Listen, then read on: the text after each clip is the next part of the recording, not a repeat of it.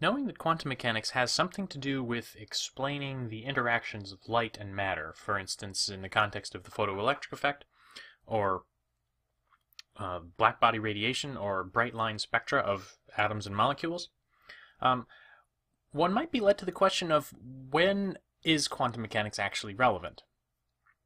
Um, the domain of quantum mechanics is unfortunately not a particularly simple question. When does it apply? Well, on the one hand, you have classical physics, and on the other hand, you have quantum physics. And the boundary between them is not really all that clear. On the classical side, you have things that are certain, whereas on the quantum side, you have things that are uncertain. What that means in the context of physics is that on the classical side, things are predictable. They may be chaotic and difficult to predict, but in principle they can be predicted. Well, on the quantum side, things are predictable too. But with a caveat. In the classical side, you determine everything. Basically, every property of the system can be known with perfect precision, whereas in quantum mechanics what you predict are probabilities. And learning to work with probabilities is going to be the first step to getting comfortable with quantum mechanics. Um, the boundary between these two realms, when the uncertain and probabilistic effects of quantum mechanics start to become relevant, is really a, a dividing line between things that are large and things that are small. And that's not a particularly precise way of stating things doing things more mathematically, um, quantum mechanics applies, for instance, when angular momentum L is on the scale of Planck's constant, or the reduced Planck's constant, h bar. Now, h bar is the fundamental scale of quantum mechanics, and it appears not only in the context of angular momentum, Planck's constant has units of angular momentum, so if your angular momentum is of order Planck's constant or smaller, you're in the domain of quantum mechanics. We'll learn more about uncertainty principles later as well, but uncertainties in this context have to do with products of uncertainties. Uh, for instance, the uncertainty in the momentum of a particle times the uncertainty in the position of the particle. This, if it's comparable to Planck's constant, is also going to give you uh, the realm of quantum mechanics. Energy and time also have an uncertainty relation, again, approximately equal to Planck's constant. Um, most fundamentally, the classical action, when you get into more advanced studies of classical mechanics, you'll learn about a quantity called the action, which has to do with the path a system takes as it evolves in space and time. If the action of the system is of order Planck's constant, then you're in the quantum mechanical domain. Now, Planck's constant is a really small number. It's 1.05 times 10 to the negative 34 kilogram meters squared per second.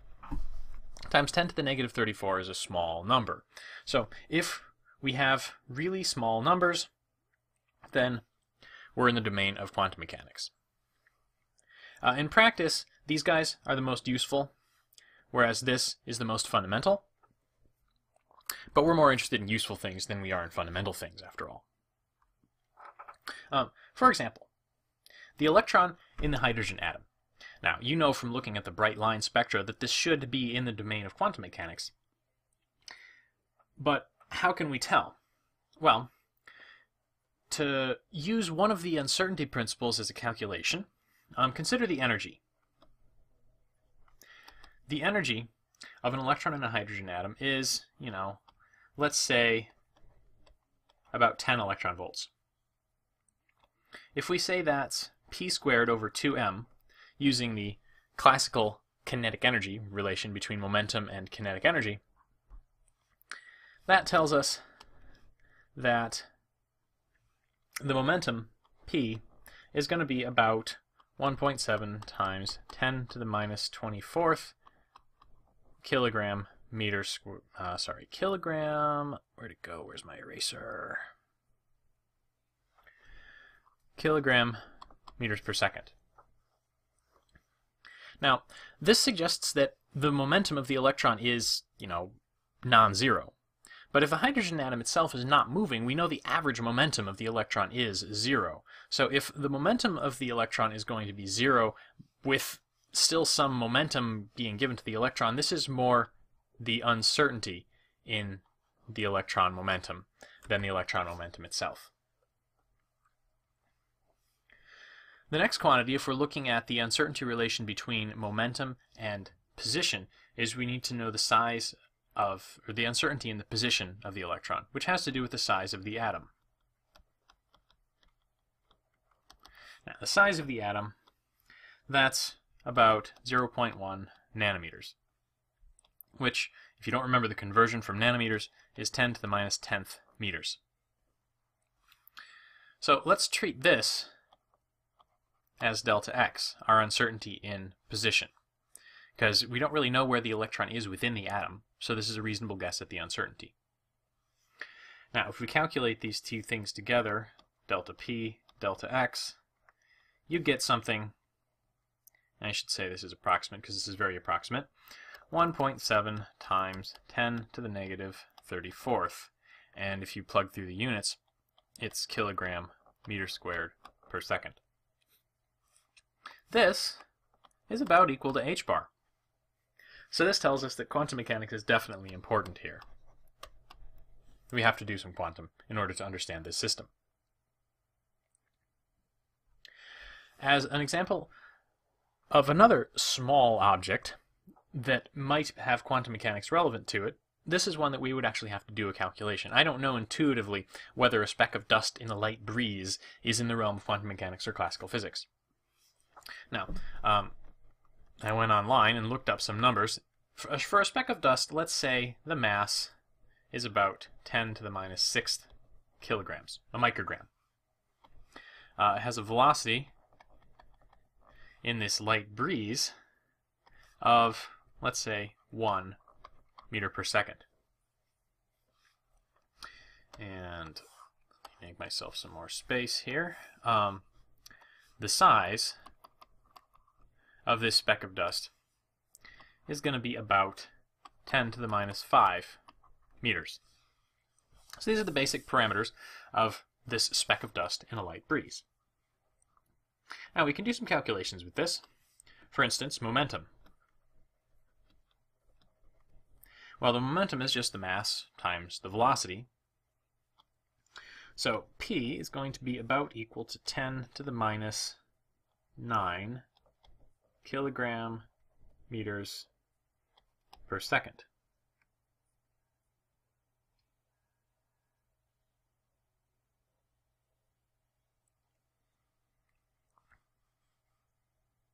Better make that 10 to the minus 6th kilogram meters per second. My notes are backwards here. Um, the uncertainty in the momentum then is, we could say it's 10 to the minus 6 kilogram meters per second, but let's say it's a little smaller than 10 to the minus 6 kilogram meters per second. Uh, let's say 10 to the minus 8 kilogram meters per second. Now the position uncertainty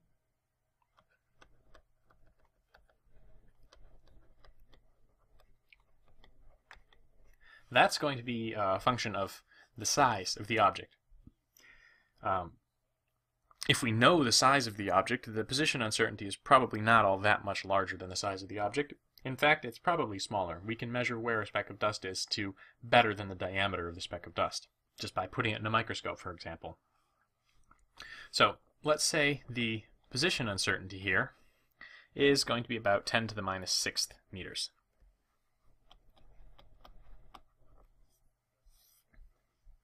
Now if we run that calculation, delta p delta x comes out to be 10 to the 6th times 10 to the minus 8th, which is 10 to the minus 14th kilogram meter squared per second. Um, this is a good factor of 10 to the 20th larger than h bar. So this is solidly in the realm of classical physics. So even something really small, like a speck of dust in a light breeze, is still going to be classical. So the the size of something here, the smallness of it, is um, something that you might have to calculate until you start getting a feel for it. Uh, just some basic examples to put things in context a little further. Quantum mechanics is most likely going to be important if you're dealing with single particles, um, atoms, molecules, single electrons, single photons, small systems of electrons and photons. It's also going to be very, very relevant if you're talking about semiconductors. Uh, the quantum mechanical properties of semiconductors are, are what makes them into such spectacularly useful electronic devices.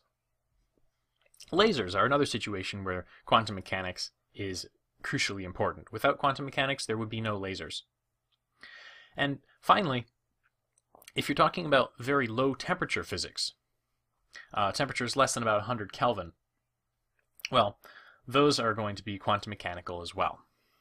So single particles, weird materials, crystals, lasers, low temperatures, they're kind of an exotic set of uh, phenomena, but we're adding more all the time. Um, quantum mechanics allows us to do things that we wouldn't be able to do in the classical world.